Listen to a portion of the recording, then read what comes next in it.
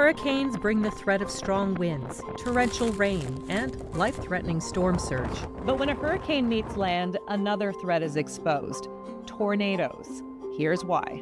When a hurricane is moving over the smooth surface of the water, winds at the surface and high in the storm are able to spin at relatively the same speed. When a hurricane moves over land, friction causes the surface wind to slow down, while the upper level winds remain strong.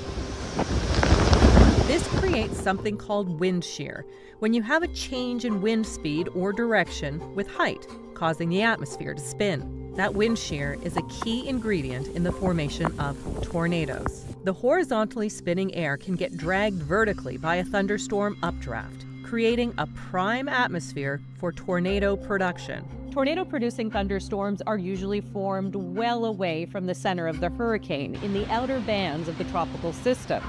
They thrive off the warm, moist air being pumped into the hurricane. The front right quadrant of a hurricane is usually the first to make landfall causing the most wind shear and making it where tornadoes are most common.